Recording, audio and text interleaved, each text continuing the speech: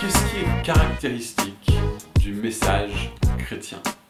Qu'est-ce qui est caractéristique du message de la Bible Autrement dit, comment est-ce que vous pouvez faire pour que votre prédication soit une prédication foncièrement chrétienne et pas simplement théiste? Que vous, puissiez aller au cœur même de tout ce que dit la Bible plutôt que de simplement dire des vérités générales sur Dieu et de vous attendre à ce que les gens soient transformés à travers ça. Je vais vous le dire. La vérité centrale du christianisme est la personne et l'œuvre de Christ.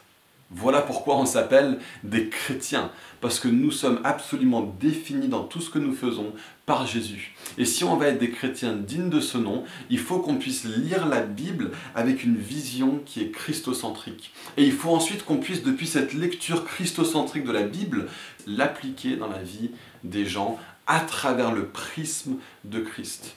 En fait, je suis en train de vous dire la même chose que dans la vidéo précédente, qui dit si vous prêchez, prêchez l'évangile. Si je suis en train de vous dire si vous prêchez, prêchez Christ, c'est la même chose, parce que l'évangile, le message de l'évangile, c'est Christ. Dieu est devenu roi à travers la personne et l'œuvre de Jésus. Donc c'est une seule et même chose, mais je suis en train de l'aborder depuis deux angles différents pour vous permettre de vous assurer que dans votre prédication, vous soyez toujours centré sur l'essentiel et que vous vous serviez de l'outil de la personne que Dieu a donné pour notre avancée spirituelle, pour notre transformation et pour notre vie. Parce qu'il n'y a pas de vie en dehors de Christ, il n'y a pas de relation avec le Père en dehors de Christ. Et j'ai envie de vous montrer qu'il n'y a pas d'interprétation de la Bible en dehors de Christ. Tout l'Ancien Testament concerne Jésus. Et vous allez me dire, ouais, mais Jésus n'est venu qu'au début du Nouveau Testament. Ouais, c'est vrai. Mais tout l'Ancien Testament parlait déjà de lui dans la Genèse. On voit dès le départ que c'est lui qui est la parole de Dieu. On voit qu'il faut qu'il y ait quelqu'un qui meure pour recouvrir la honte et la culpabilité d'Adam et Ève. On voit que Jésus est annoncé comme celui qui va écraser la tête du serpent alors que le serpent lui mord le talon de façon fatale. On voit encore et encore et encore que les personnages d'Abraham, d'Isaac, de Jacob, de Judas, de Joseph, de Melchisédek. Et ça, c'est que dans la Genèse. On a ensuite, on a Exode avec Moïse qui donne la loi au pays, mais Jésus est venu pour être le nouveau Moïse qui donne une meilleure loi, une loi bien meilleure. On voit euh, le, tout le système de sacrifice qui est donné comme une annonce à l'avance qu'il faut qu'il y ait du sang qui soit versé pour couvrir la faute du peuple. On voit dans le Deutéronome, on voit dans Josué avec la conquête de la terre promise et Jésus qui est venu pour reconquérir le territoire qui lui a été promis alors que Dieu lui a dit demande-moi les nations de la terre et je te les donnerai en héritage. Les personnages clés de l'Ancien Testament sont des types, sont des annonciations à l'avance de qui est Jésus. Et vous pouvez prendre n'importe quel passage, pas n'importe quel verset forcément, mais n'importe quel passage pris en contexte dans l'Ancien Testament et vous pouvez montrer dans quelle mesure ce texte annonce à l'avance, parle d'idées vérités sûres, montre le besoin de Jésus. Et donc, alors que vous lisez l'Ancien Testament, ce n'est pas une histoire sur des gentils et des méchants, et il faut qu'on devienne comme les gentils, et il faut pas qu'on soit comme les méchants. Ça, c'est une prédication qui est moraliste et qui ne met pas Christ au centre de la prédication. Dans l'Ancien Testament, on a des personnes qui sont des héros levés par Dieu, et on a un peuple qui a un besoin absolu de Dieu, et on a un ennemi qui les opprime. Le héros, c'est pas vous. Le héros, c'est Jésus. Le peuple qui a besoin désespéré que ce héros vienne pour sauver la mise, ça c'est vous. Ça, c'est ce que vous étiez.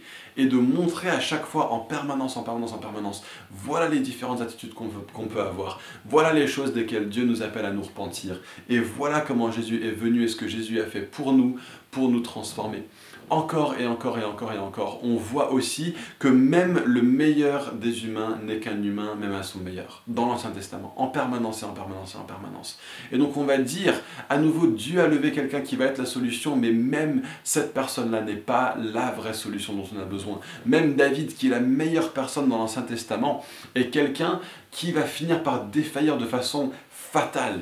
Et on va dire que même ces personnes qui annoncent Jésus au final montrent qu'ils ne sont pas la solution et qu'il nous faut Jésus. Et peut-être que vous êtes quelqu'un qui réussit bien dans la vie, mais vous avez besoin encore et toujours de Jésus. Prenez l'Ancien Testament et prenez le Nouveau Testament. Vous allez me dire, ouais, mais Paul est là et puis il a expliqué plein d'autres trucs que simplement Jésus. Non, non, non.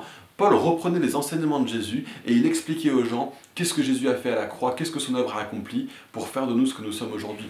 Et vous allez me dire, ouais, mais attends, il y a l'Apocalypse qui parle de la fin des temps. Mais que dalle Il parle de la réalité de Jésus et sa seigneurie sur toute chose et comment c'est lui qui conduit l'histoire jusqu'à son accomplissement et jusqu'à la, à la revenue de son règne pour que son Église puisse vivre dans la nouvelle Jérusalem céleste, terrestre. Tout parle de Jésus dans toute la Bible. Et si vous allez interpréter la Bible autrement qu'en mettant Christ au cœur de tout ce que vous voyez, eh ben, autant prêcher dans une synagogue. Je suis désolé. La réalité, c'est que c'est Christ qui est au cœur de la prédication chrétienne. Et si vous ne mettez pas Christ au cœur de la prédication chrétienne, vous êtes en train d'interpréter la Bible selon une lumière qui n'est pas celle historiquement du christianisme. Et donc je vous mets profondément au défi là-dessus. Alors que vous prêchez prêcher Jésus. Montrez ce que qui lui il est, montrez ce que lui il a fait. Et à partir de ça, démontrer aux gens quelle est la conséquence pour nos vies et comment est-ce qu'on répond. Donc vous pouvez conduire les gens à entrer dans une dynamique un peu moraliste. Ouais, parce que bon, c'est vrai qu'il faut que je change de vie. C'est bien, il faut que tu changes de vie, mais qui va te donner la puissance de changer de vie? Qui va être l'exemple pour toi? Qui est mort pour que pas de condamnation alors que tu essayes de changer de vie? Qui c'est qui donne la puissance aujourd'hui dans ton cœur pour être transformé? Qui c'est qui est celui qui porte du fruit en toi? Qui c'est qui t'a sauvé même pour que tu portes du fruit en premier lieu? Ça concerne entièrement le personnage de Jésus. Et vous comprendrez mal la Bible si vous essayez de la lire autrement qu'à la lumière de l'œuvre de la personne et de la résurrection et la seigneurie de Christ aujourd'hui. nicht.